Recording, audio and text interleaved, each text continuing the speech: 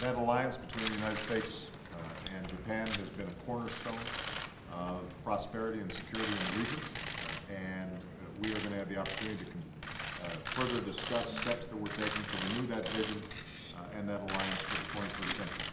In fact, in April, when Prime Minister Noda visited Washington, we released a joint vision statement that's guiding that effort going forward to further strengthen our alliance.